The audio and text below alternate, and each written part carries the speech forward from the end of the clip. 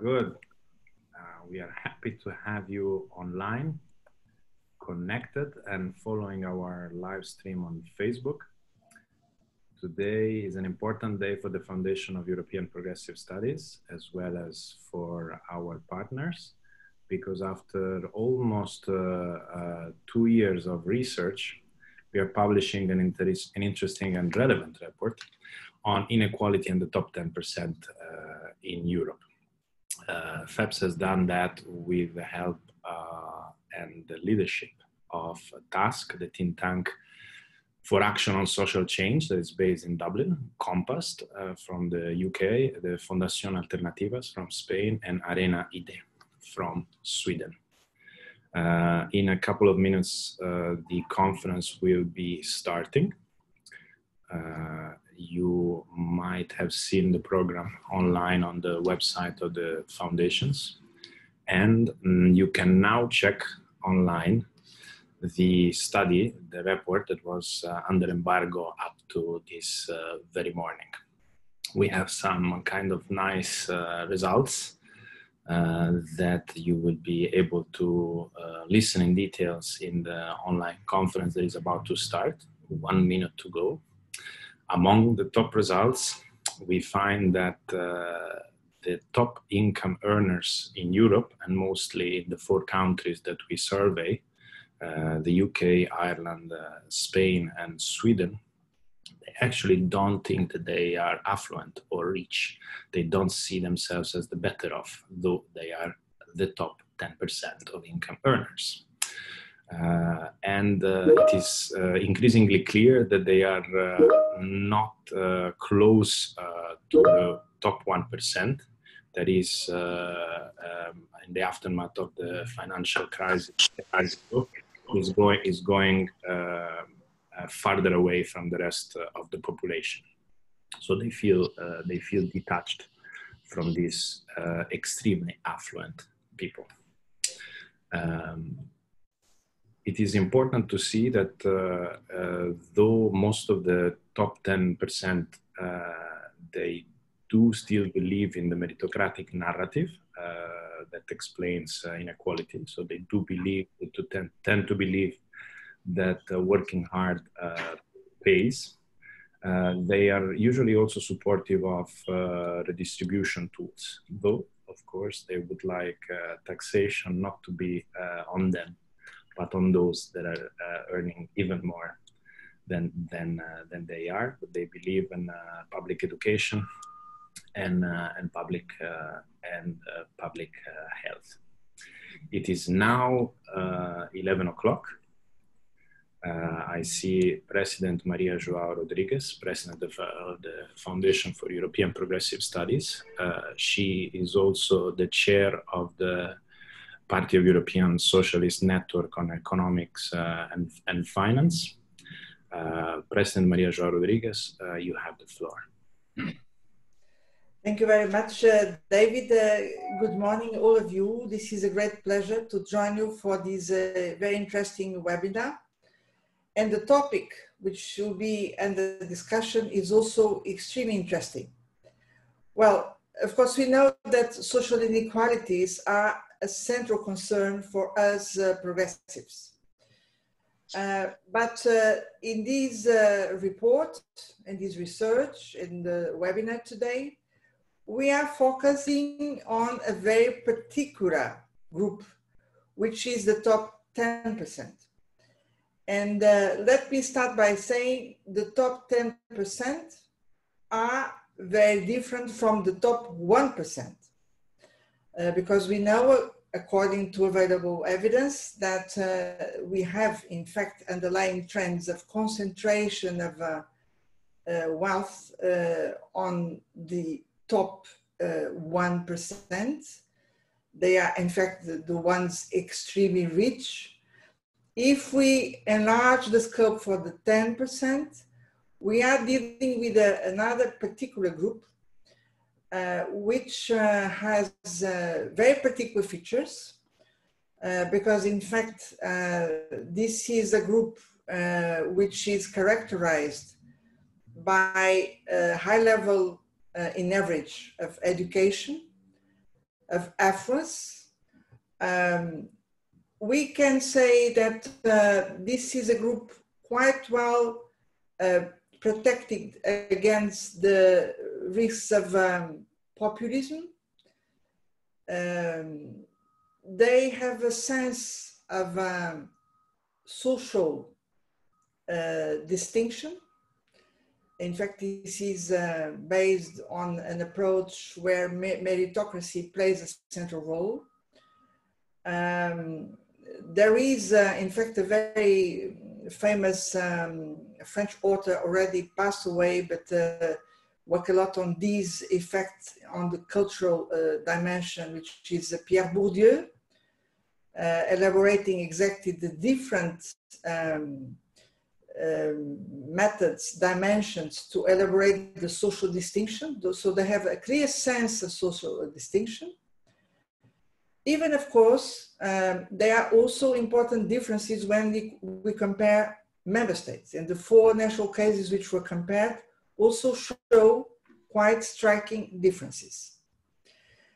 Now, uh, a second issue which is important for us is about the political behavior of this uh, special group.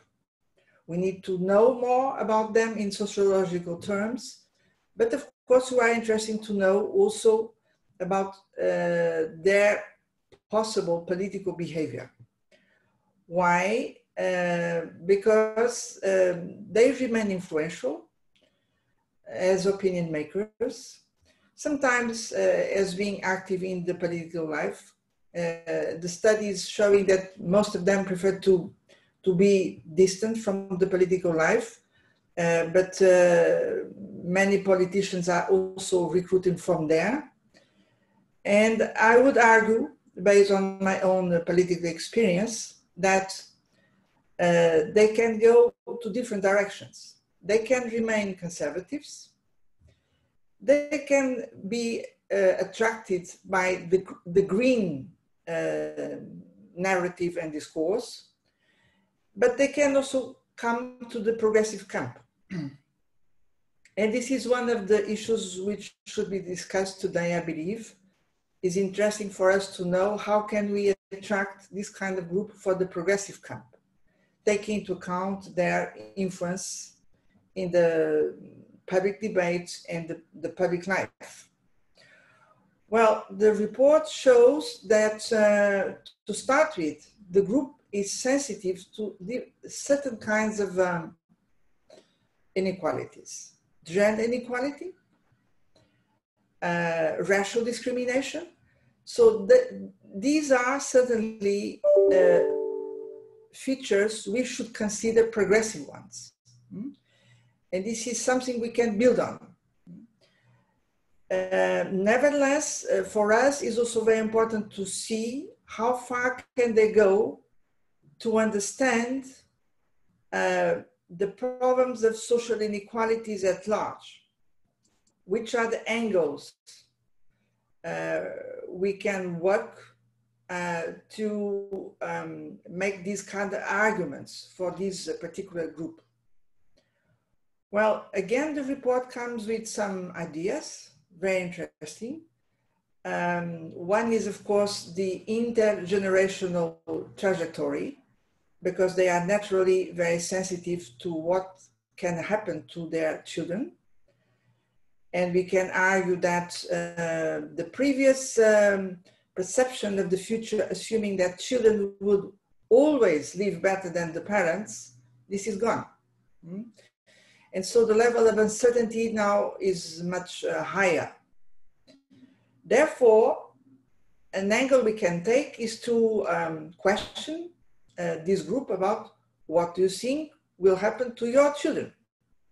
What can you do to make sure they will live uh, well? Mm?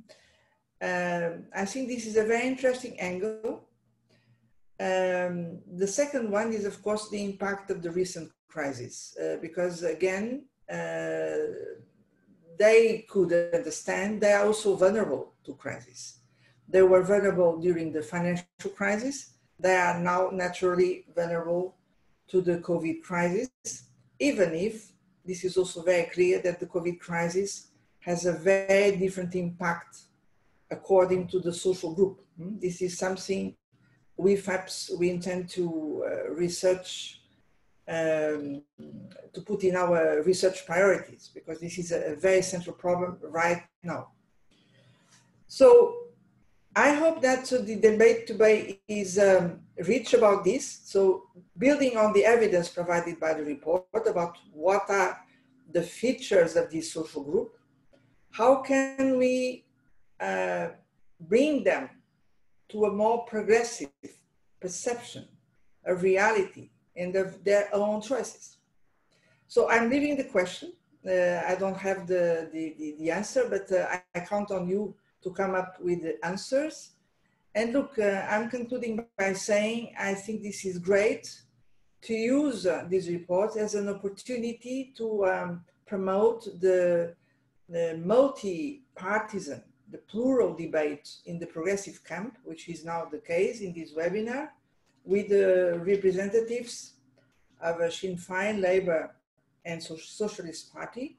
This is the kind of debate we FEPS we really want to promote.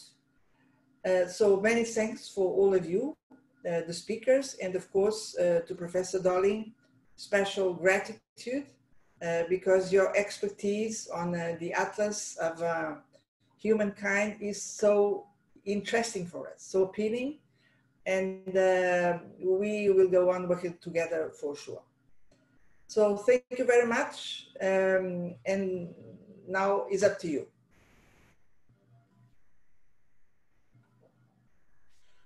Uh, thank you very much for, for that. And um, particularly for your question about how do we attract people from this best of 10% of group to progressive politics, uh, because I think that's, that's key.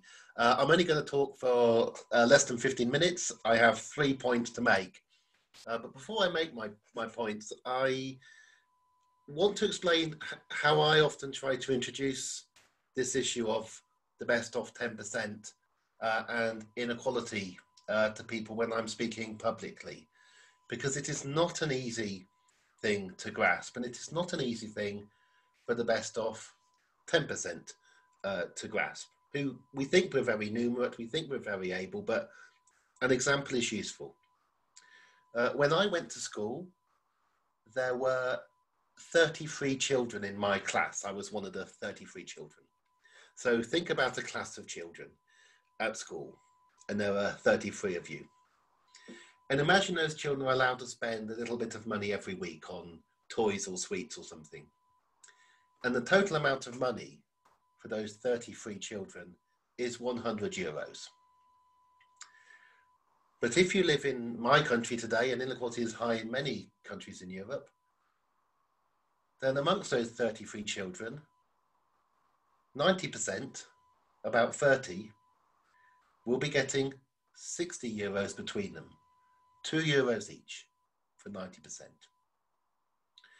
Three children in that classroom will be getting the other 40. So the question is, why do those three children not realize that their material income, their position is so much different when they have 40 euros every week to share amongst themselves and the other 90% only have two? And the answer, at least in this is figures for the UK, is that those three children in the 10% don't share that equally. One child has five euros a week, two and a half times the average child, but they think they only have five because the other child in those three um, has 10 euros a week, twice as much.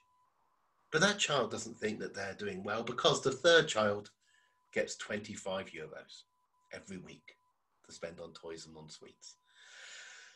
And then I ask people, if I'm speaking publicly, to think about how those children might behave, how they might mix, whether they would hide the fact they have this money. And then what happens when they grow up, what they do. But that is our, that is our society. Three children sharing 40 euros, 5, 10, 25. 30 children just having 2 euros each. It doesn't work. it's hard to maintain friendships. It's hard to understand each other. What happens is that you separate. And you tell yourself, even if you're in the top group, you are badly off. And of course, the child with 25 euros a week, wow, they're not in the 1%. Some children have yachts, they have private jets, and so on. Uh, my three points.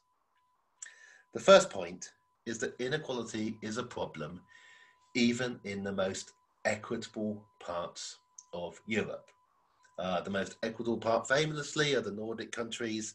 Last week, on the 15th of September, uh, a new report was produced by the um, Kalevi Sorsa's uh, Foundation, a social democratic think tank in Finland, uh, to raise the issue of inequality again in Finland and what was happening. So, even in the most equitable countries in Europe, which are the most equitable countries in the world and include the most equitable places there have almost ever been, inequality is still a key issue. In Finland, you see it in terms of who gets to go to university and who doesn't. Now, we should celebrate the successes of equality. And again, for Finland, one year, the lowest infant mortality rate the world has ever known in the most equal country uh, in Europe. Uh, you know, it's, it's incredible. You can't do better than not having infants dying. Um, but still, inequality there is a problem. And the way in which you control inequality is by always seeing it as a problem and reporting on it. One of the problems for the more unequal countries in Europe is that inequality is often not looked at as much, not talked about as an issue as much. So that's my first point. Even in the most equitable parts of Europe, inequality is still a key problem. My second point is that in the most unequal countries in Europe, it is the decisive and all important factor. In fact, more important than the pandemic. Uh, inequality has led to more deaths over recent years in the most unequal countries of Europe uh, than the pandemic has, just spread over two or three years rather than six months. But in those more unequal countries, it isn't noticed. It's just seen as normal. Of course, poorer people die earlier. Of course, life expectancy doesn't go up very much. Of course, it's very hard to get a house. Your children cannot get one. Your grandchildren cannot get one. And it's blamed on the immigrants, not on the fact that you actually have more flats and houses than ever before, but you're sharing them out badly because of income and wealth inequality. People talk about lack of access to healthcare without realizing that in a more unequal country, you spend less on healthcare because a proportion of the top 10% try to separate themselves away. Because when they were children at school, they got more money than other children and they think they're special. And they think they should be treated first for illnesses other than other people. The end result is that the entire health of your population suffers. And in fact, the mental health of the top 10% in unequal countries is particularly bad. Partly because they're so afraid of falling down, because they are a little bit aware of how far down uh, the fall is to go. If you can explain to people in the top 10% that in a more equitable future, they themselves will be happier, will be calmer, will be less frightened but in particular, their children will be safer and their grandchildren. And if that does not work, ask them to think about their future grandchildren. If they don't have children, their nephews and nieces, it doesn't matter to have children. Ask them to think selfishly only about their own family and the generations to come, and think about the weakest child. Think about the unlucky child.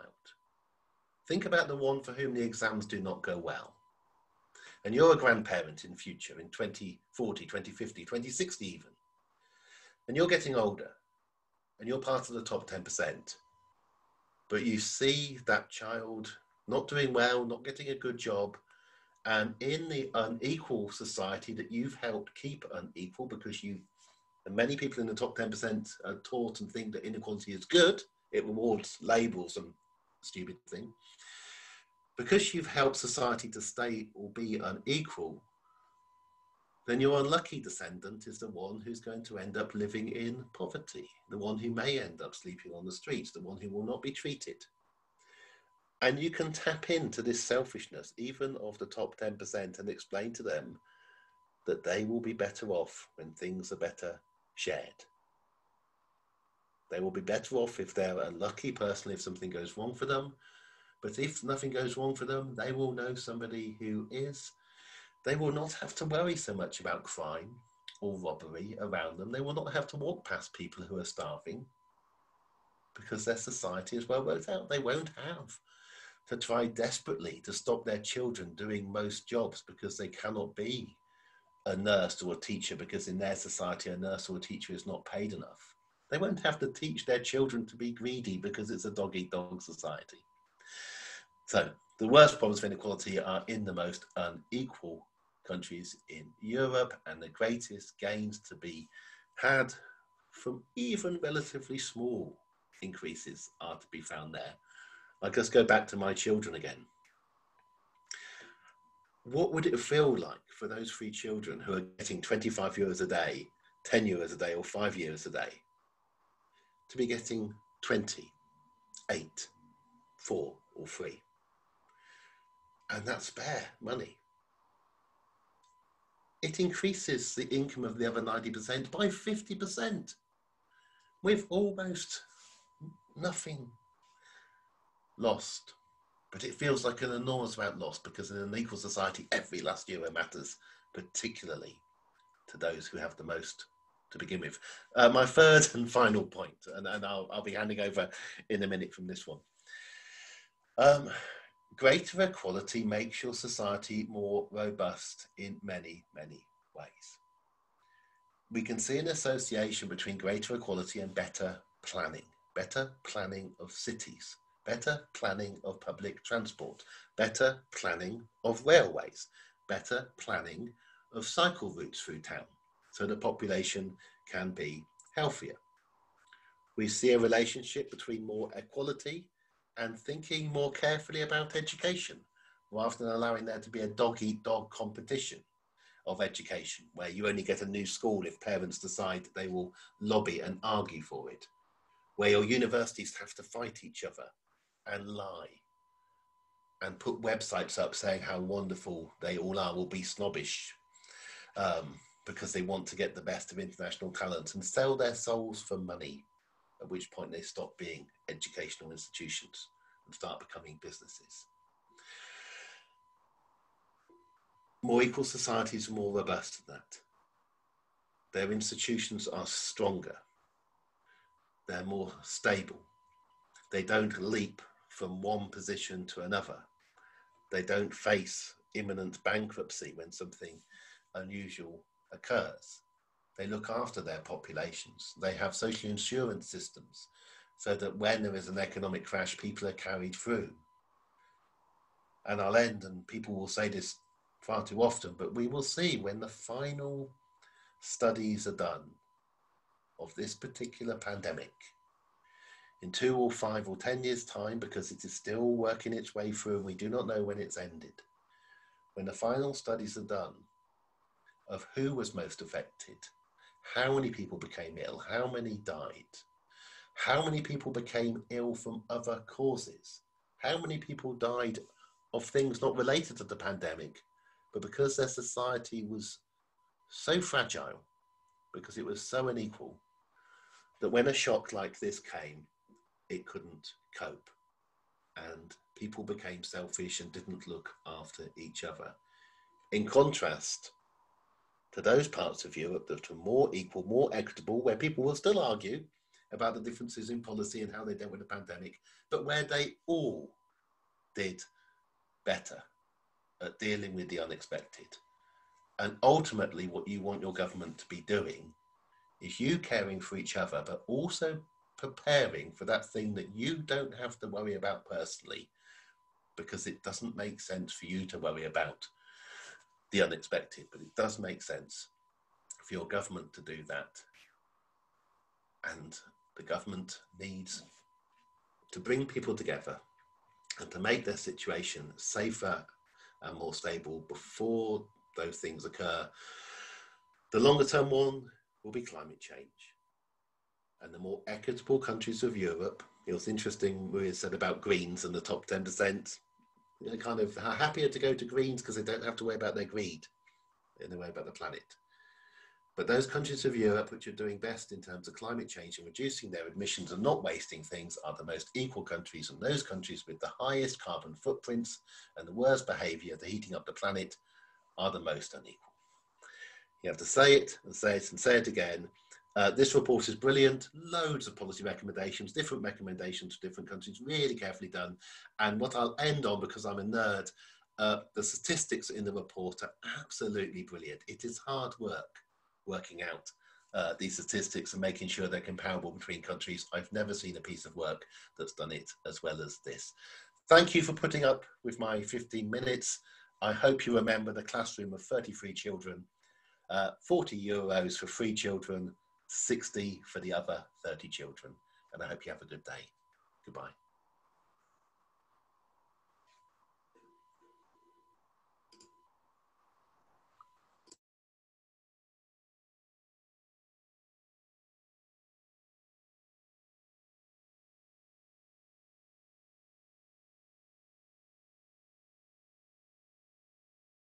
Hello, everyone. Can you hear me? One second.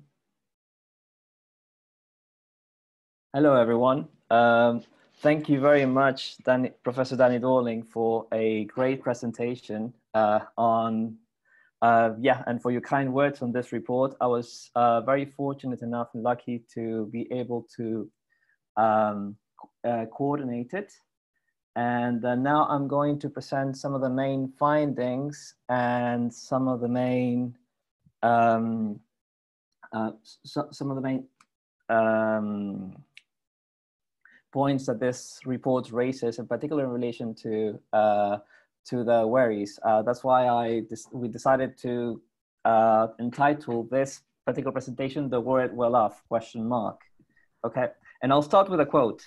Um, this is from Siobhan, who's a company director uh, from Ireland. She said, I make 100,000 euros a year. At the end of the third week of every month, I have nothing left. I pay for my own house. I pay for my parents' mortgage. I have three kids, two stepkids, one of which is in university. And at the end of the month, there is nothing left. So while people might look and say, wow, you're on a great salary. Yes, I am on a good salary but I'm exactly the same as everybody else. I have nothing left at the end of the third week of the month. Uh, I don't know about you, but for me at least, I find I feel a certain sense of ambiguity in relation to this quote because on the one hand, 100,000 euros a year is a very good salary, uh, even though it uh, in Ireland especially. I mean, in all in all countries, really, I don't think I can't think of any country with 100,000 euros a year isn't a good salary, really. Uh, uh, so one um, I guess, instinct one has is to say, wow, what's going on? At the same time, when you read the expenses that she has to incur in, it completely makes sense that she runs out of money at the end of the, uh, the, end of the month. So uh, in terms of background for this report, uh, this ambiguity is precisely what, uh, in a sense, inspired us to look a bit deeper into this population. Uh, and previous studies, which are mostly based on the United States, say that the top 10 of income earners have two specific uh, characteristics in relation to public policy. First of all, the preferences are more likely to coincide with actual policy through whatever mechanism. Partly, I guess, because the top 10% tends to dominate the public conversation and the public discourse um, to a great degree. And the second one, uh, which is quite important, is that even though they tend on, in aggregate to be more liberal in issues such as uh, race, uh, gender equality, etc., they are less likely to support redistribution. Okay. In this context, this report asks, what does this top 10% look like in these in four European countries? What are their worries, particularly economic worries, if there are any? And what are their views on economic inequality, okay, in the context of Europe? Uh, in terms of the methodology, um, I won't uh, spend too much time in this, but the report took two years to write. Uh, its focus is on income, crucially, because you might be aware that after the very the very good and groundbreaking uh, work of Thomas Piketty, there's been a, a growing emphasis on wealth. Uh, we, in a sense, want to complement that by actually looking at the top 10% of income and seeing what are their worries precisely. Okay. Um, and it's based on survey analysis, particularly from EU SILC, the European Social Survey, and national sources. We use mostly the first two surveys because they are uh, quite comparable. Uh, so they're comparable across Europe. And we use semi-structured interviews as well. We have a sample of uh, a bit under 30 per country uh, based on occupation, gender, age, and income. And uh, crucially, we did not tell respondents that they qualified to the top 10% before recruiting, which had its own, uh, which uh, was a bit of a challenge at some stages. And I forgot to say that um, in terms of why we focused on these four countries, I think that there's several interesting aspects to each that would allow for interesting comparisons with notwithstanding that we could obviously look into uh, more detail into other countries. In particular, Ireland, for example, uh, has uh, its economy is highly dependent on foreign direct investment, is uh, in our sample of four countries, the country with the highest nominal incomes. However, uh, as you will see later, is actually one of the countries where the top 10% also declares to face more difficulties to make ends meet, where probably the cost of living is higher. Uh, Spain is also quite interesting because it's a country that was uh, highly affected by the crisis. Uh, it's also a country that crucially uh, has some level of tax competition at the level of the uh, comunidades autónomas, of the, of the regions, and also has uh, crucial issues in relation to structural unemployment. Um, Sweden is also a very interesting case to contrast to the others, particularly because, uh, as you must be aware, Sweden is one of the countries which historically has had one of the most robust uh, welfare provision, uh, also a very robust taxation. However, um, in the last uh, decades, Sweden has seen its inequality rise to um, a worrying degree. Um, and finally, the UK. Uh, I don't think I need to tell you much about the many challenges that the UK is facing, but uh, I, I, would argue, and I imagine Professor Dorling would also agree that uh, inequality has, uh, in a sense, uh, been one of the main underlying factors behind the many uh, political crises that the UK has been facing in the last decade at least. Okay, now, first of all, a big part of the report debated over how to define the top 10% in the first place. Here we have a definition which is individual income based on all sources.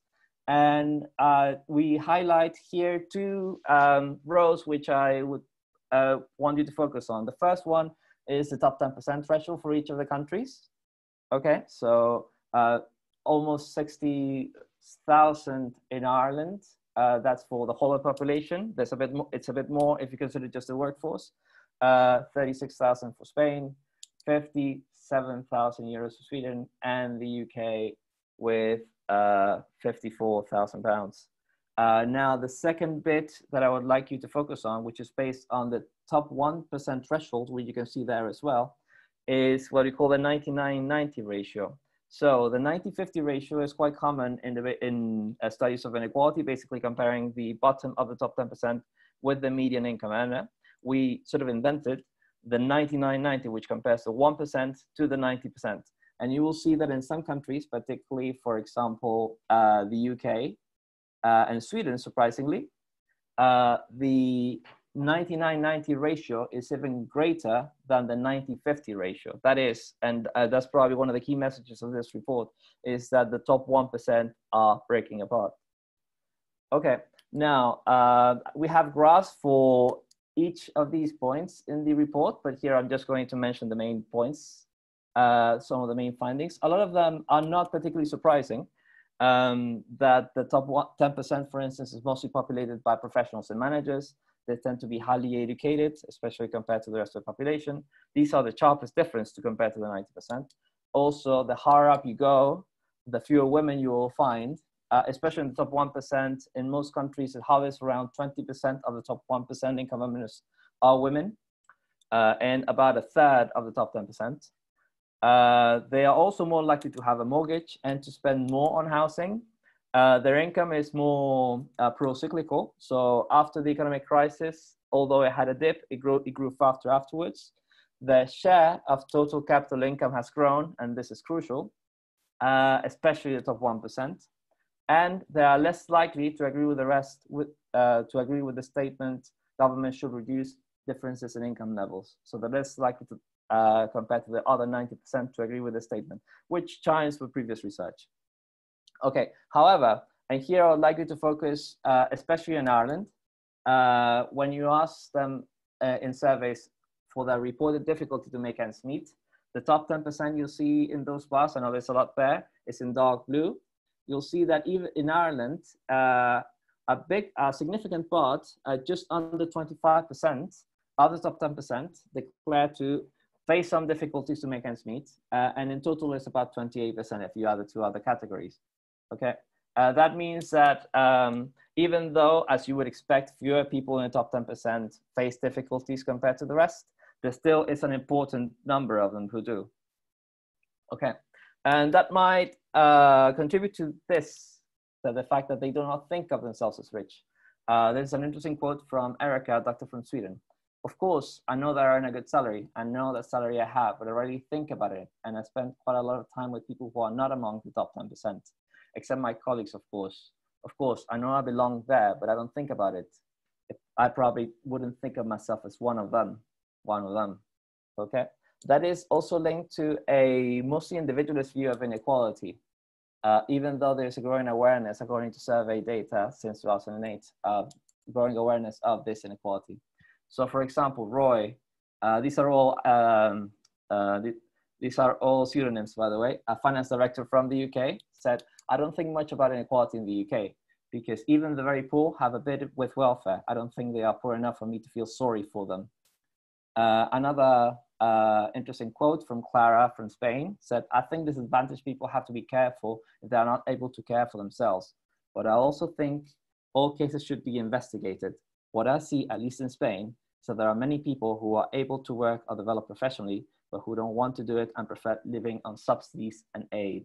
So the uh, sort of 1980s uh, sort of neoliberal discourse on uh, the deserving, and undeserving poor, we found uh, to be still quite relevant for a, at least uh, a big part of this population.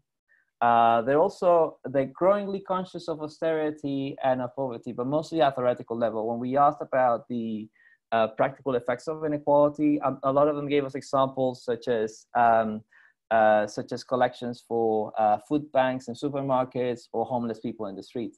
Uh, here's an interesting quote from a ship captain, Javier from Spain. Um, I am in favor of public services, but there should be more investment, especially in healthcare, as investment has fallen a great deal. After the crisis, the public health system worsened considerably. Those of us who can afford private insurance are very lucky because the public health system is in a very bad state. So So in a sense, uh, both um, there's a certain ambiguity here be between its own luck in being able to afford private healthcare at the same time of being aware of the uh, the dwindling quality in his view of the uh, public health provision. Uh, there's also growing anxieties and insecurities, and this is something that we would like to highlight, um, especially in relation to the next generation. Uh, Susanna, a CFO for a major bank in the UK, for instance, told us, I worry about my kids. I don't know what they're going to do because all the jobs, and I say that from a financial services background, all the end level jobs for a lot of industries have all been moved offshore. So the job that I started and the job that I did when I started my career at this investment bank is now well and truly done in India.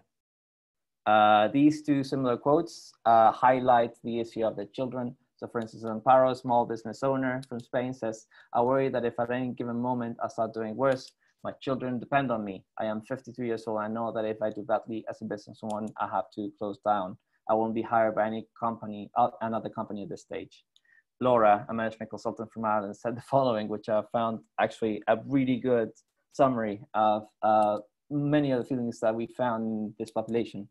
We are in the top 10% bracket, but when we looked it up, we thought this is ridiculous. How are we in the top 10%? If we lose our jobs, we easily revert to being poor. Who will take care of us then? So uh, just to summarize and uh, look at some of the issues that we uh, are facing with this population, uh, they're facing four challenges, at least, amplified by COVID. The first one is the uh, pervasiveness of discourses on inequality and competitiveness.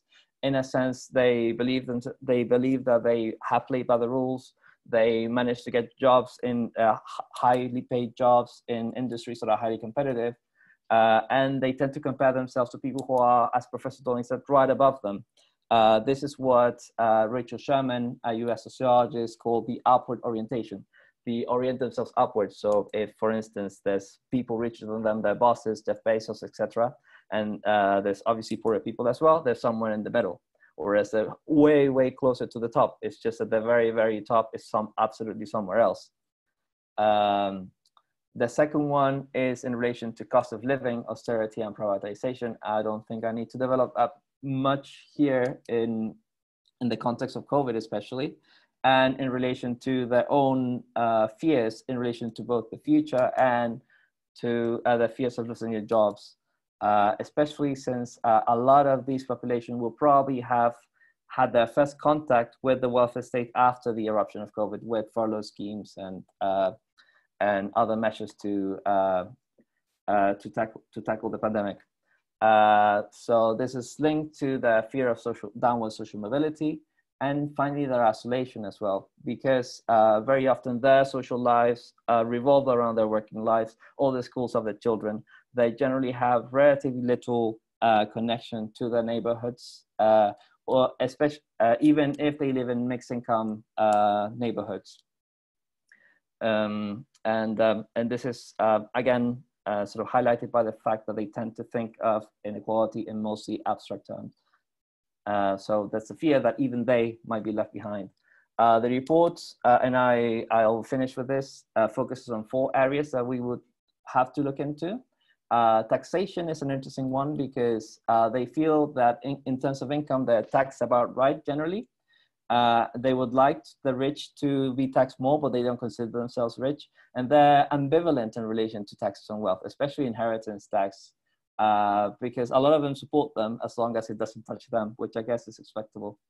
Uh, the second one is in relation to public services. I think a lot of them want to see stronger provision of public services, and there's an opportunity for that, especially after COVID, to justify that point from a progressive point of view.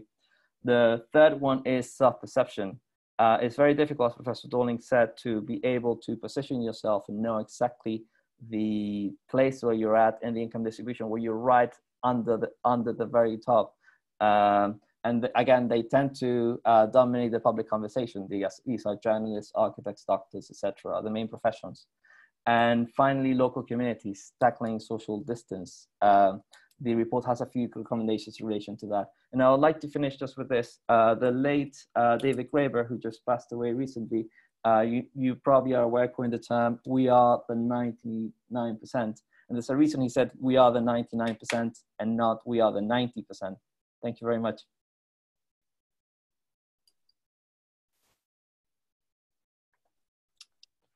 Thanks so much, Marcos. Um, I'm very pleased to be able to um, introduce our panel now for the um, discussion for the next uh, 15 minutes. Um, today we have, hi, today we have Ged Nash with us, member of the Irish Parliament and spokesperson for the Labour Party on finance, public expenditure and reform.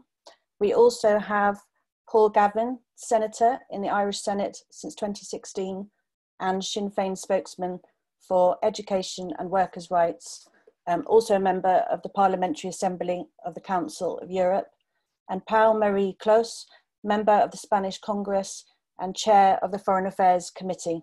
Um, he was High Commissioner for the fight against child poverty uh, between 2018 and 2019, and is also Associate Professor of Sociology at the University of Zaragoza. So as I said, we now have about um, 15 minutes for each panelist to respond to the results of the study and discuss its implications for future policy. Um, if we follow the order uh, on the agenda there, um, that will be with Ged um, starting the discussion, then Paul, and finishing with Pau. Um, at about 12, um, we'll take some questions which are coming in from the chat, the Q&A and our Facebook discussion. Um, and those will be answered by our three panelists um, and also Marcos will contribute to that um, discussion. Um, so if I could ask each panelist to turn their, their mic off while the others are speaking and then obviously back on for the Q&A. Um, so yes, if we'd like to start with um, Ged, thank you uh, so much for being with us. Just turn your mic, mic on. To unmute your mic. Yeah. yeah. That's great. Can everybody hear me? yeah. Great. Um, thank you very much, Jerry, and, and, thank you, Marcos. And can I say it's it's been a real pleasure um, to work with you all on this report. And my apologies that I didn't have the opportunity to hear Danny's contribution. Uh, Jerry, as you know, uh, I was in our Parliament in the Dáil Chamber um, up until half ten, uh, going through second stage of a very important bill that the Labour Party have initiated, and it seeks to address a very important deficit uh, in the Irish worker protection system, where we actually don't have a, a statutory legal right to, to legal sick pay. It's a massive gap that we need to address, and obviously the pandemic has exposed that as a, a very, very real problem. Look, this is a, a, really important report, and I, and I hope, Jerry uh, and colleagues, that it gets the attention and the response uh, that it merits. I think it's fair to say we really are at an inflection point in terms of the future direction of our economies and our societies. And really, we as progressives and, and socialists and social democrats have to find our voices again because we have lost our voices uh, in recent decades. And really, the truth is, um, societies have never needed um, social democratic interventions uh, more than they do now. And we're being told all the time that COVID 19 has changed everything, but I guess time, time will tell. We've seen the scale of supports for business, for workers, and, and economies more broadly uh, being introduced over the last few months. You know, supports that are really at eye watering levels, unprecedented state investment that would have been unimaginable um, just a few short months ago. And as Marcos kind of pointed out there earlier on, I mean, for the top 10% of income earners, it may actually have been the first time that they've encountered direct payment from the state and direct engagement from the welfare state. In our case in Ireland, a relatively high um, pandemic unemployment payment of 350 euros, regardless of what your income was um, before you lost uh, your job, uh, albeit in some cases temporarily. So I think given that kind of experience, the time I think is ripe now uh, for us to make the case again for social democracy and for the role of the state because the COVID capacity to do really big and really important things. So I think there's space opening up for us there in that regard. And it's up to progressives to make the point that the state isn't just for Christmas or a pandemic, it's for good. We're here to stay and we have a very important role um, to play. In terms of the study itself, a number of really important things stand out for me. And many of the points, I think Paul would probably agree with this as well, confirm in an evidence based way what we as practicing politicians uh, already know like because of means testing in Ireland, for example, for services like access to free healthcare, because we don't have a national health service worth the name, because of the high cost of housing and, and social services that, that most EU citizens take for granted, you know, such as universal childcare. Uh, many of those who are in the top 10% of income earners bracket, they don't have a penny to their name come the end of the month. Uh, and their lives are precarious too, and they experience a kind of level of precariousness and insecurity that their parents told them they would never experience because of their levels of education uh, and their levels of, of experience. And given that their existence, I think, in some ways has as much in common with low and middle income earners uh, as, as sometimes we might not consider. And looking as well at a report yesterday from the Irish Central Bank that was really interesting that looks at the concentration of a massive quantum of wealth in the hands of a very small number of people. I think the top 10% of income earners now are open to be persuaded about the merits of wealth taxes and asset taxes in a way that they may not have been before. Because uh, we can see the massive, dangerous concentration of, of, of, wealth and assets in the hands of a very small and influen- influential few. And I think they recognize now that that's not good for society, it's not good for our economy, and it's not good in terms of, of security and, and the idea of, of precarity. Um, so I think to address the, the relatively high level of high cost of living in Ireland, we have to address the demand for more high quality and cost effective and accountable public services and make them available really as part of what I might describe as a, a new social contract. And there's a lot of discussion at a high level around you know what a new social contract could look like, learning from some of the inequalities that have been exposed uh, by, by COVID 19. And we have to persuade them that redistrib- redistribution and the state and, and, an active state can benefit everybody that's a massive job we as social democrats and socialists have to do. Uh, it's a big challenge, um, but I think it's a challenge we have to be up for. And this report really helps to assist us as decision makers, uh, particularly in the context of really big decisions we have to take in our own country and elsewhere around budgets over the next few years. Thanks so much, Ben. that was brilliant. Um, we're now going to go straight on to uh, Paul, Paul Gavan. So please that you can be with us today. Um, please over to you. Thanks very much. Um, it's it's a fantastic report, um, among the best that TASC have, have produced, and that's really saying something. Um, it's, it's, the statistics are absolutely crucial, and I think you produced a document uh, that all of us on the left can use. Um, there's a few key takeaways for me from it. Um, the first is just to say that uh, while it highlights inequality uh, in terms of the statistics, I suspect and I believe that uh, if it was based on wealth as well as income, we'd see an even more stark picture, certainly for, for Ireland, uh, and I suspect across the other countries as well. Um, the second point is this, this common refrain that's, that's throughout the report from the four countries that many of these people don't regard themselves as being rich. And I would venture to say that um, many of them have a point because if we look at the thresholds, take the threshold there in Ireland for, for 60,000, um, you know, people on 60,000 aren't rich. And I think this highlights the fact that the real gaps uh, to, that are most significant are, are between that 1% uh, and the rest of the, the 10%. Uh, that, that's really startling in, in, in terms of the income, certainly um, uh, differences in Ireland, but I, I think across, across, the way as well. Um, the, personal interviews are, fascinating because it does really give a, a wide range of, of, of perceptions. And uh, as the report's summary points out, there does seem to be, you know, perhaps a surprising degree of, of recognition amongst this 10% about the value of public services, uh, which is good to hear. Um, and yes, Roy's quote definitely does stand out. Uh, I don't think they are poor enough for me to feel sorry for them. Uh, I think we've all met Roy um, on the doorsteps uh, from time to time. But to be fair, uh, Roy isn't entirely representative uh, of, of, of, the very extensive interviews that, uh, that have taken place. Um, I suppose I want to, to try and address one key question uh, that, that's, that's been a theme here, which is, is it important to try to persuade these people? And at the risk of upsetting anyone, I'm going to say not especially, not especially. I, I think it's important to persuade the other 90% uh, there's no question in my mind that some of these people, when you, you see it, particularly with the public servants in, uh, in Sweden and other countries, who are already uh, on the progressive side of politics, and I've no doubt some of these people are as well. But, but, but the key point is that um, I'm sure all of us on this call agree that inequality is fundamentally wrong and has to be changed. Um, and all of us on the left need to make that case because let's be clear, and I'm not being party political about this, all of us on the left have failed to make that case over the last couple of decades. And as Ged has said, I mean, we are at a real inflection point here. Now is the time for those of us who are socialists, social democrats, democratic socialists, however you want to describe yourselves, to really make the case for remaking society. Um, and what this report, I think, should prompt uh, is, is, a, is a broader degree of, of conversation about policy responses. So one thing that's clear to me is that income tax rises are limited in terms of uh, in terms of being useful. They're certainly useful for tackling tackling that one percent, but people on 60 to 65, 70,000, um, many of them, frankly, um, aren't going to be able to pay an awful lot more tax. That's the truth in terms of income.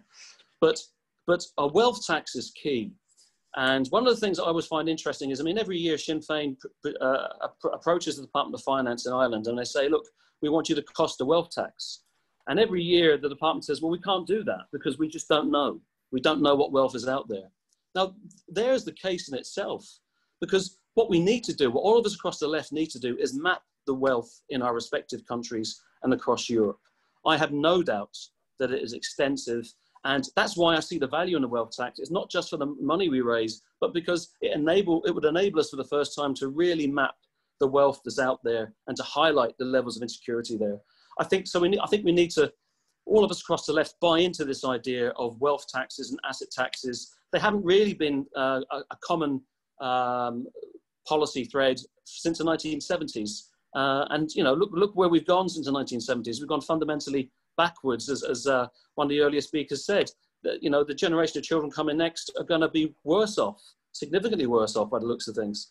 Um, so we need to look at other taxes. And again, we need to be bold. We need to talk about inheritance tax uh, as a progressive measure.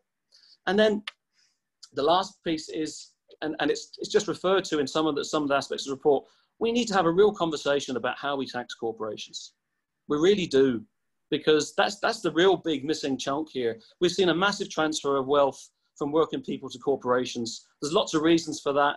Uh, the, the decline in trade union strength, the need for collective bargaining, real collective bargaining rights, the whole economic model that's been practiced by the European Union. Uh, all of these things need to, need, to, need to come into a conversation. But we need on the left to be bold enough and brave enough to talk about um, how we tax corporations in a way to build a decent society. Uh, my last point is to say that in terms of uh, this idea that, that some of the 10% speak about in terms of how they've only um, some of them how they've earned their right to be where they are and, and they've done it by themselves I, would recommend a, a, an English comedian called Stewart Lee. There's a wonderful two minute piece on YouTube called The Money Is Mine, which just highlights how absurd that, uh, that notion is. Because all of us know that it's where you're born, which class you're born into, uh, that are the key determinants of, of how you end up in society and how much money you end up in society. So uh, a really impressive study, fantastic and, and very useful for all of us on the left. Thank you so much. And let's all work together. Let's build a consensus for a radical reshaping of society, a radical reshaping of taxes uh, and equality. Thank you. Thanks so much, Paul. That's brilliant. And uh, finally, over to you, Paul. Thank you so much for being with us today. Uh, thank you. Thank you for, for the opportunity to share this, this debate with such distinguished guests. Uh, when you are the last in line, you, you always wanted to say things that have already been raised, but I will, I will point out um, a few issues that maybe have not been raised uh, so extensively, at least. You, uh, you know, I largely agree with the report, uh, with the characterization of inequality that is made in the report, and particularly concerning Spain, when, it, when, when the report singles out the low capacity of, uh, for redistribution that the uh, Spanish state has. So the, the, the, the, the low capacity to uh, somehow uh, reduce inequality through public action, which is uh, one of the issues that might be different in Spain when compared to to, to other uh, countries. So prior, prior to joining politics uh, at the government in, in 2018, uh, I was a scholar, as you, you said at the beginning, and I have myself written about the topic and I led a study during the, the Great Recession in Spain about middle classes and the crisis that came to very similar conclusions about the attitudes to, towards inequality, redistribution, and the welfare state among these, these upper middle classes that, that, that the report makes. So in that project, in which I interviewed a broader segment of upper middle classes, probably located between percentiles 70 and 95, uh, these were groups that, that had undergone uh, bad times during the recession. And I found there that the single most remarkable feature of those middle classes was economic security. Economic security despite undergoing these difficult times. Many had lost businesses and good jobs, but were able to make ends meet, were able to collect uh, benefits from the state, could rely on, on the state for support, were able to recover uh, financially. They had, you know, they were empowered by, by, by the educational uh, resources. They were able to rebuild their, their lives. So I think my, my finding overlap with the findings of your study here and probably, um, I would say, invites to extend the debate to a broader group, a group, a group of the 25% richest or even the, the top 30%. Uh, I always thought that if we need the solidarity of the richest with the plight of the most vulnerable 40%, we cannot rely only on the contribution of the richest 1%, nor even the richest 10%. We need a broader group to contribute resources, to contribute their voice to our welfare uh, state and to social investment projects. And I also share largely the policy recommendations in the report. But let me put a note of caution that was raised by, by Paul before me concerning the role of social democracy. In seeing that at least a group of 10% uh, of this top percent hold progressive and redistribute, uh, redistributive views, and they don't do not see themselves as, as, as, as rich people, we might be tempted to think that we might enlarge our electoral base within this group, that we might attract them to uh, social democracy. And I think this is largely wrong. On the one side, the political space is already crowded. You have liberals there, you have conservatives there, you have green progressives there. So, and they have been there for a while, and they are deeply entrenched in this in this in this uh, in this segment of the population. So the identities are linked to to to these groups. So on the other side, we should not forget that these top 10% are largely, and they say it, and they are aware of it, they, they might not see themselves as rich, but they, they see themselves as privileged when compared to other groups. So there, there is this book that you, you probably all know by, by Richard Reeves, this, this, this analyst, this British analyst working for the Brookings Institution in the, the US, uh, wrote this book, uh, Dream Hoarders, and they, there he shows that you know this group is able to hoard opportunities to to to to um, basically offer their children you know the opportunity of of maintaining this the status. They segregate themselves from the poorest segments of the society. We, we can see it right now in madrid with with the corona crisis you know. We have a huge segregation right now, and these privileged groups are able to shield themselves from contagion, from poorest neighborhoods. And you know, conservative politicians are supporting policies to shield them, these groups from, from like poorer, poorer uh, neighborhoods. So, you know, I think that social democracy has the ideological duty to struggle against processes that contribute to increase inequality and build a less cohesive, cohesive society. And some of these processes in which you know these, these groups participate are doing this, are harming equality and harming cohesive society. And this does not mean that we should not promote policies which they favor, but insofar as they benefit the society at large. So there are obviously win-win policies where segments of the top 10% uh, of the society might incline, might be inclined to support progressive causes, and by doing so, broaden coalitions of support for these causes. The solidarity impulses might help promote the fight against some forms of poverty that might be perceived as especially unfair or, or undeserving, such as the, as the fight against child poverty or uh, against, uh, you know, poverty among the working groups. And social, social democracy is also committed to non-materialist demands that many of these, these, these people hold, such as the quest for gender equality and the fight against uh, climate change.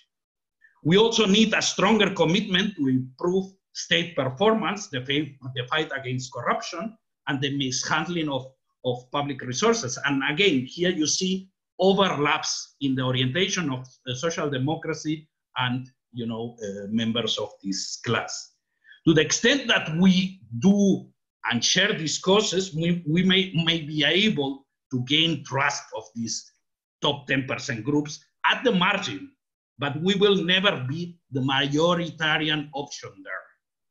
If, if we, if for, you know, an unexpected reason, we became such a majoritarian option there, we would probably have trade-off effects and lose support among other groups, perhaps leaving space for populist forces and the radical uh, right where we traditionally have been strong.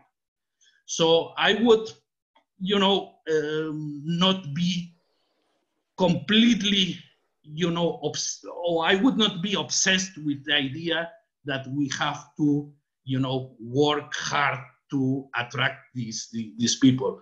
We might uh, want them in broader coalitions, but not necessarily within social democracy.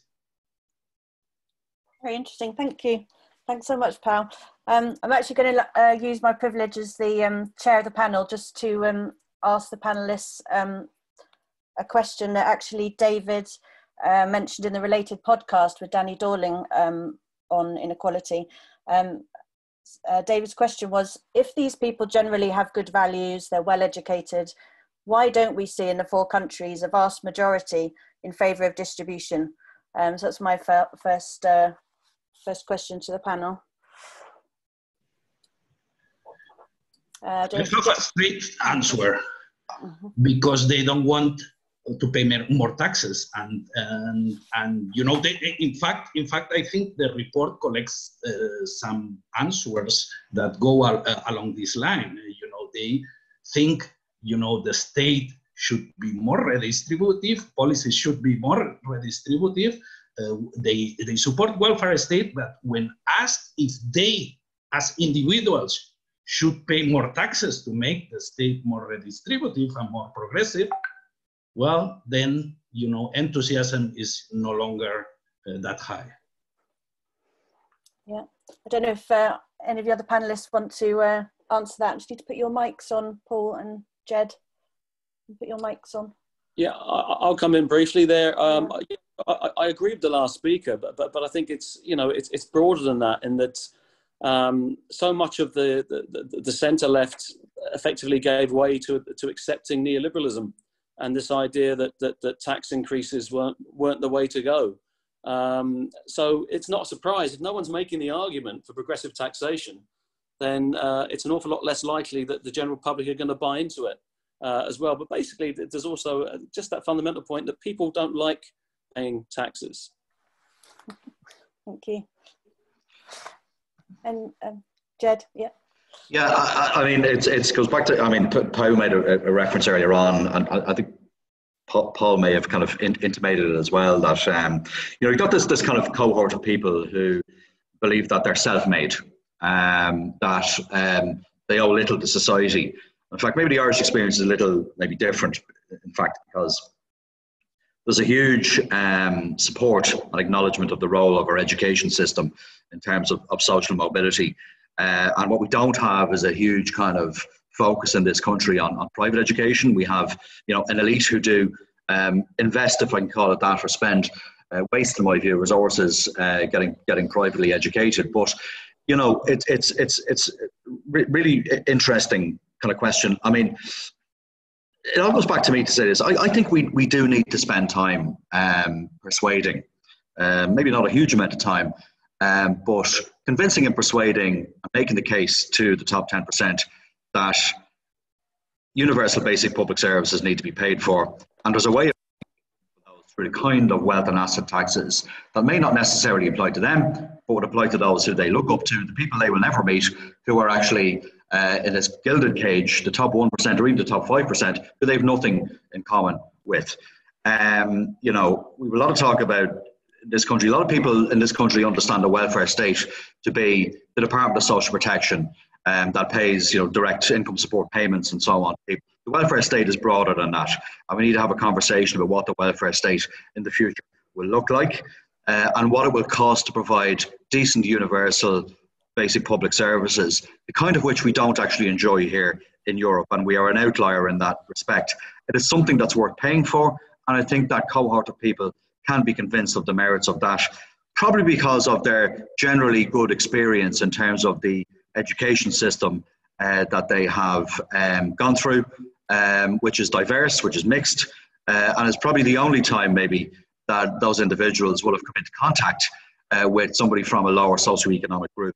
Um, and that, I, I, think, is a good thing, obviously, uh, in terms of broadening somebody's life experience and a greater understanding of um, of, of the makeup of society and the challenges that different cohorts will have. Mhm. Thank you very much. And if Marcos wants to come in there. Marcos, should I take you?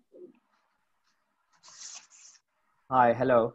Hi. Uh, yes. Um, so um, uh, I agree also with the main points that were being raised in relation to yeah how to appeal to the top ten percent. Um, I don't really feel confident in relation to the what would be the best political strat- strategy to look into them, but my hunch, nevertheless, and this is probably what the report would focus on, is the growing um, distance between the top, the bottom of the top 10% and the top 1%. So, uh, I I mean, there's two issues there. One is uh, whether they will benefit from more welfare provision, and my hunch is that increasingly yes.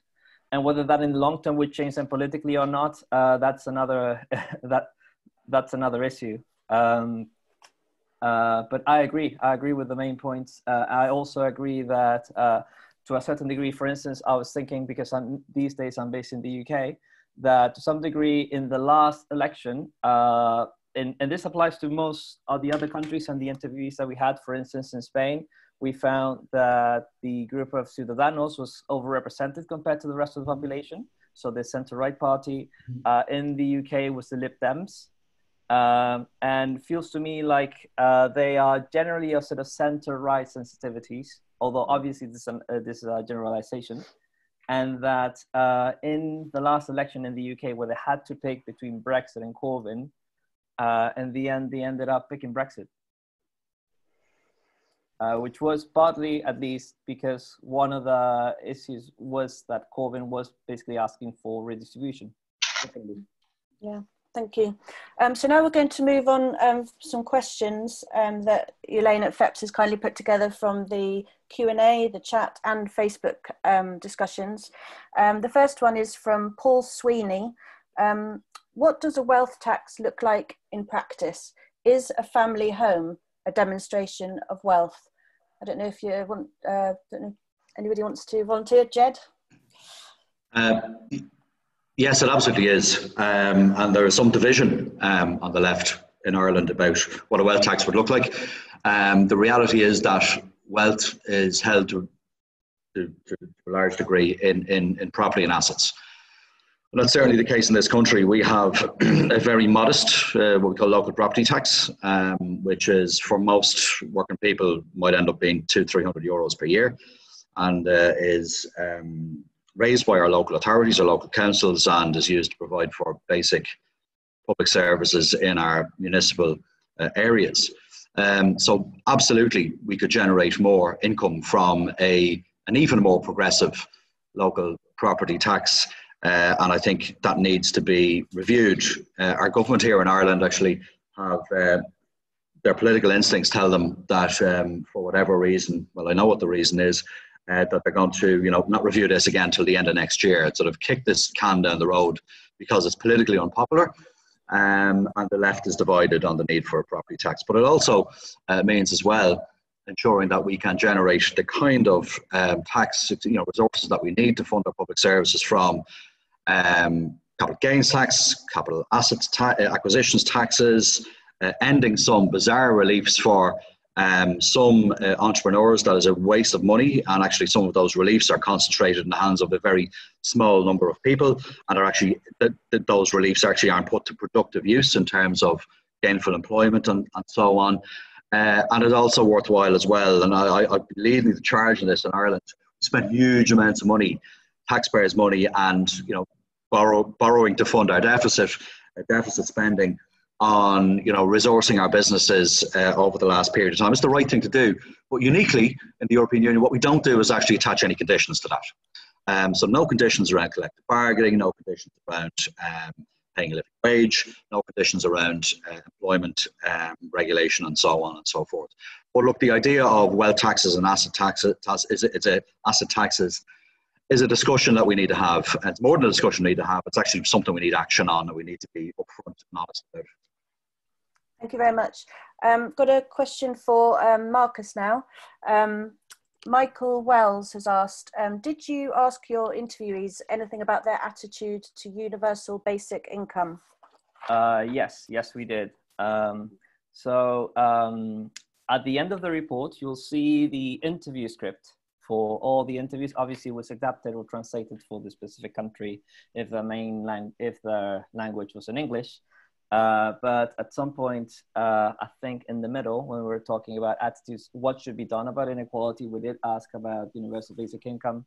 Uh, we found the um, the attitudes towards that question mixed. Uh, mo- I would say most of them weren't really aware of what the universal basic income was. Uh, when we explained it to them, uh, I would say probably two thirds were opposed because of the typical meritocratic reasons, because it's giving people uh, money for nothing. Uh, however, others, uh, especially interestingly enough, those uh, I remember a few interviewees from the areas of tech, IT, and financial services were very much aware of the threat of automation, for example, that see it as ultimately an inevitability. Mm-hmm. Um, thank you. Um, the next one um, is from uh, Lucy Craig. Um, and this I really strongly agree with, and it's something that our recommendations uh, look at is the um, need to really um, educate this group about the value of the welfare state services to them in their lifetimes over, over the distribution of their life. She says it's important to communicate and disclose what the tax money is used for, for example, education and health, in order to show that it is less costly to organise um, on a whole for all instead of paying for private education and private health. Um, that, that, good quality and good access should be guaranteed for all. Don't know if anyone uh, who wants to take that one. Yeah, I would I would say that um, social democracy has always benefited from, you know, uh, promoting and and providing universal services, good quality universal services, and when we provide uh, good quality universal services, we are even able to gain the trust of, you know, middle classes and upper middle classes, and this is probably the key to explain the success of uh, Sweden or, or, the success of Nordic co countries. You know, it cannot always be done, you know, uh, because it means, uh, you know, uh, um, significant uh, high uh, fiscal pressure that sometimes is not politically feasible. And in some countries is not politically feasible at this moment. Uh, um, and uh, we have to make a special effort to persuade people about the importance of, of welfare services when these or, or, transfers when these services uh, are not universal and, and, are not going to benefit everybody. And parts of the uh, population or the citizens might might have the impressions that they will never get these kind of benefits. At that point, we need to convince them that they might not get these specific, like focused policies, but they they all are all are benefiting through this life cycle of other policies, uh, healthcare, education, higher education, which goes uh, largely to the middle classes or to the upper middle classes, public uh, education, at least in in most of the European countries. So so, you know, the, the middle classes are benefiting from the welfare state, and sometimes the welfare state is even quite regressive, benefiting more the, the, the, the more affluent groups than even the, the poorest groups. So this must be said. This, this has to be said all the time. Yeah. Um, we'll go to a question now from Miguel. Um, social democratic governments in Spain introduced dual income tax in 2006 and proposed eliminating the wealth tax in 2011. How can the panelists explain this type, these types of policies? I would expect both measures being implemented by a right wing party, but not from the left. This is a reflection of how neoliberalism and neoclassical economics has been embraced by social democratic parties. Uh, do, Paul wants to do that one. Um, well, I largely agree with the idea. In fact, I was not member of the Socialist Party at that time. I must say I was just a lecturer in the University of Zaragoza at that time, and I probably opposed the, the idea at that time. You know, uh, social democracy has been, uh, you know, contaminated by general currents, third way currents that somehow uh, advocated for this kind of policies that were traditionally recipes of other political groups. And, the, and we have paid it at the Electoral College. And we should not go that way uh, again. That doesn't mean that we should not be open to evaluate, to reassess our uh, policy approaches and look for new ways of collecting taxes in a fair way or of spending of spending in a progressive way. Mm -hmm. Thank you very much. Um, we'll now go to uh, another one I think is important. I'm um, sorry, it's for the UK again, but I think it's a really important question here. Um, from Richard Hickman, how significant is the UK private school system in insulating the top 10%? If um, Marcos wants to take that one. Uh, sure. Uh, so um, I will try to make it as relevant to other countries as possible. I'm, I'm sure that a lot of it will apply to other countries as well. Uh, the UK in the UK, um, it's about seven percent of children who end up going to private schools, which uh, presumes that it's an even smaller group of people than the top ten percent. Uh, and um, uh, in the UK, I mean, it's uh, very, very well known, and there's a lot of research on the formation of networks and elites uh, that these schools um, uh, can, um, yeah, that these schools basically help with. Uh, in particular, we hear more about the top 1% kind of schools, the Etons, Harrows, etc. Uh, but probably the a broader coalition, so to speak, of the private schools has a, has a really crucial effect on inequality and is and its reproduction. Um, I mean, there's a lot of literature there. I don't even know exactly which direction to go. I would just say that, and this is common to Ireland and the UK, as an interesting debate over what happened after the A levels algorithms fiasco. Uh, in Ireland, uh, I think they were trying to respond. So in the UK, just uh, I'm going to try and very briefly explain the situation. Uh, in the UK, because of COVID and other reasons, they basically tried to predict the grades the students would have. And one of the factors that there was the performance of previous years in the school. So obviously, uh, worse performing schools tended to be in poorer neighborhoods. Uh, so in the end, that made that that created a positive discrimination for children who didn't necessarily perform that well in high, in schools that perform well in general, mm. which tend to be wealthier than the opposite. in Ireland, uh, interestingly enough, they took that, um, the, as I was explained to me, um, they took that variable out, and that created exactly the opposite kind of backlash, right? Of uh, wealthier parents uh, whose children uh, were sort of dis- discriminated against.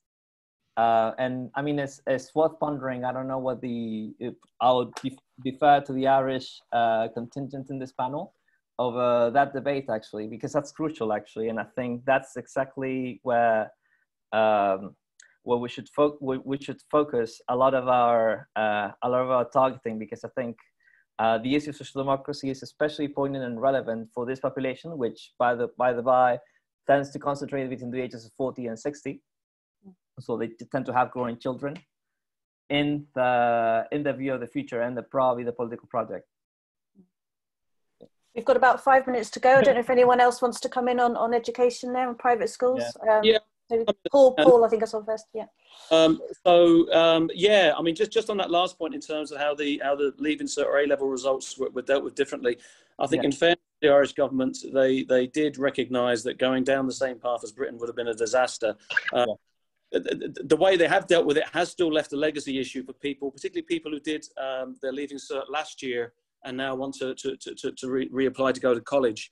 Uh, and what really should have been done is, is a more ex- expansive uh, set of, of places acro- across, across key courses to try and keep the points down. I don't think the government responded significantly enough there. The other point I want to make in terms of education is the fact that um, uh, the Irish state subsidises private schools uh, to the tune of 91 million a year, which is absolutely shocking. Uh, that, that, that, that, that's carrying on, and and the argument they make is well, if we didn't subsidize them, some of these schools would close and the pupils would have to go to state schools. Well, actually, I think that would be a good thing Uh, but, but, but the, the idea that, that uh, and it refers back to a point that Pau made earlier, which is that middle classes receive plenty of benefits uh, through welfare. Uh, they're just not well advertised. Uh, yeah. But between, but across tax breaks mm-hmm.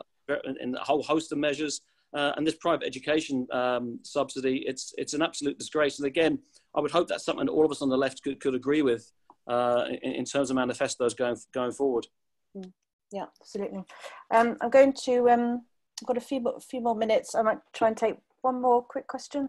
Um, I don't know if there's, is there one that you'd like to ask um, Marcos to the panel?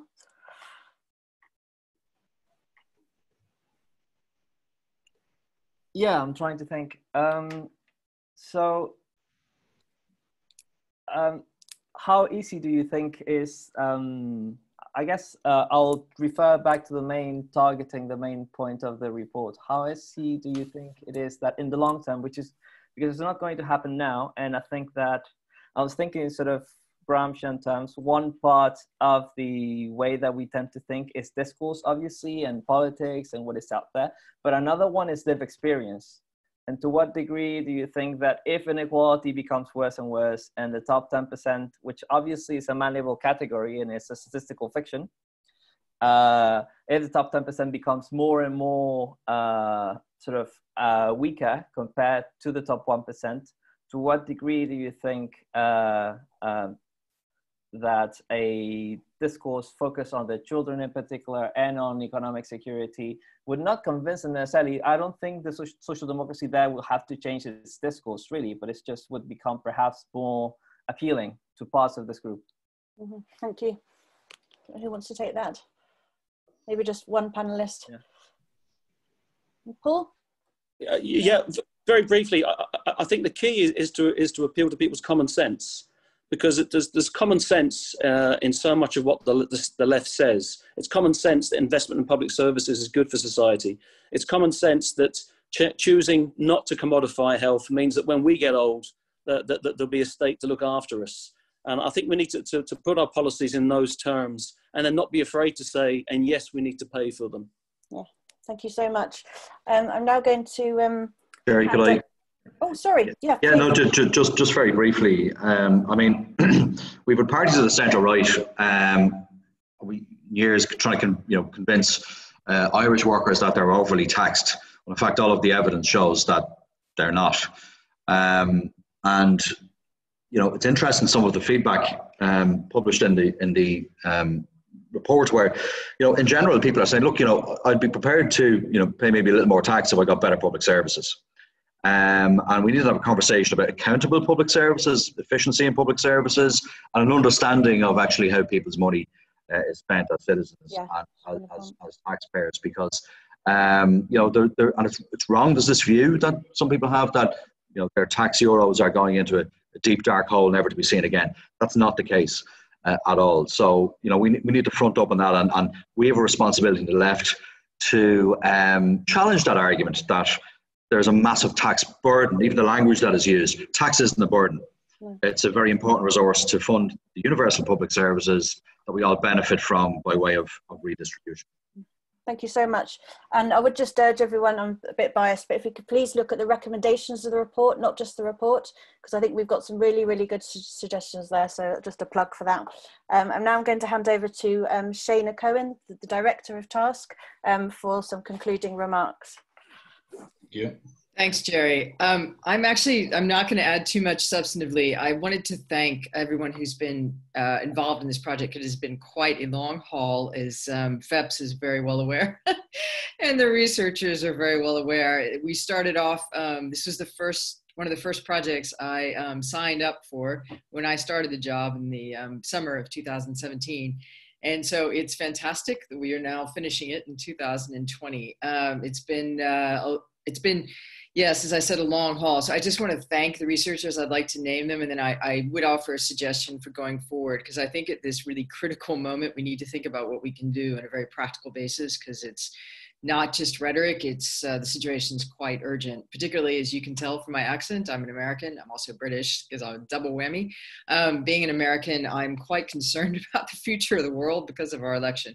Anyway, putting that aside, I really want to thank Marcos, who has had the patience of Job in putting this project uh, together, helping it, helping coordinate the research across four um, countries. We've um, he's done a magnificent job dealing with different research teams and different research studies. Um, thank you, Marcos. He joined the project, uh, I guess, about four or five months after I started the job. I want to thank Jerry because she came in to help us put the whole thing together. It is a massive report for those of you who've seen it. It's about 300 pages, plus we have the policy recommendations. It's by far, I think, the biggest report TASC has ever published in terms of length and substance. And it's the first study at least TASC has done in collaboration with other think tanks in Europe, um, not just FEPS, who is our conventional partner, and I, I want to thank FEPS for their support through this whole process, but also um, the other think tanks. We, uh, we collaborated with um, Arenagruppen in Sweden. They have done a magnificent job. They have done a magnificent job navigating some tricky waters and putting together their chapter and contributing to the report. And to Jose, not Jose, Jesus and Jorge. I don't know why I came up with Jose. Jorge and Jesus in Fundación Alternativas in Madrid. They also um, navigated uh, some tricky waters in putting together the research, and they did a great, great job putting together the chapter. And I want to thank Marcos and Jerry and um, Francis and Neil. I'm not sure Neil's on the line, but Neil Lawson from Compass. He's at the Labour Party conference. I don't know if that's still. Oh, yep. Neil is just just uh, Neil is here. Thanks, Neil. Um, I didn't know if he was still uh, hanging out the, with the Labour Party in the UK. Thank you very much for participating, Neil. You agreed. You were the first person to sign up for this project outside of um, Ireland. And finally, I want to thank. Um, I'm not. They're not on. There are several research assistants who helped out with this um, this project, and I'm going to thank them personally. They're not on the line, but I will go. They helped out to, to conduct the interviews as well as Marcos, and I conducted some of the interviews anyway, thank you very much for, for your help and thank you for your patience because it's required quite a lot. Um, going forward, uh, I've heard there are two things for me that um, are striking, and in terms of future projects, and this is something maybe a discussion to have with FEPS in terms of the social democrat agenda. Taxation seems to be the biggest issue. Where do we go from here in terms of taxation? There will be huge deficits, national deficits in their budgets. And I, am sure um, the EU is not going to replicate the response they had to the financial crisis in 2008, but it's still important to think about how those deficits will at, the, at this, be manageable, but at the same time, they don't re- resort to austerity. That and everyone is saying they're not going to resort to austerity, but I think that we need to take we need to hold people to that commitment because now is the time to, to invest in public services. So I think for the social democrats moving forward, or whatever you want to call people who are progressive, um, how what is a fair, transparent tax system, and how can we explain to people where the money is going? In Ireland, and that's the case I'm most familiar with, there was no issue about paying taxes. There was none. Nobody, nobody amongst the interviewees complained about paying taxes. I mean, I I pay I pay an extraordinary amount of my money. If I were living in the U.S., I would pay a lot less of my money in uh, taxes. But I what upsets me is that in the UK, I also paid a lot of taxes and I had the NHS. In Ireland, I don't have the NHS. I have to you know pay for health services. So i think if you were to take ireland as an example um, it would be great to say i'm really happy to pay that level of taxes but i, I do want to be able to access primary care for free. So I, I think there's a there's a there's something to be said about the agenda of taxation not just to pay off national deficits at this point but where can we invest where can states invest strategically to make sure people lives are better and that they're more resilient because this could be the first shock of many if you take climate change into account. Um, so we need to prepare the population, and that does require investing in health, housing, education, and infrastructure. And so I, I would encourage going forward to think about taxation and transparency about investment. And I, I think there's a really good point to be made about transparency and income distribution because there was so much surprise amongst the interviewees about how their position, um, like even the people who in Ireland who said, "Oh, I know I'm in that um, bracket, but I just don't feel it." So I, I, think there is something to be generating a debate that income actually only goes so far, and that's because of the dependence upon wealth, and that's because the one percent is earning so much more than the rest of us. anyway, I will leave it there. But again, I, I do want to thank everyone who's been involved in this project, and I, I really, really, really appreciate um, your patience and your collaboration and your collegiality through this whole thing over the past, let's say, two and a half years. I'll leave it there, and I don't know if FEPS wants to sign off somehow. Or is that it for us? David, do you want to sign off? Or should I say thank you? for everyone attending. We've had quite a good audience today, and I'll thank all the panelists and the speakers. Thank you, and I hope to see you soon. Thank you. Thank you. Thanks, everybody. Bye bye. Thank you. Thank you. Bye. Thanks.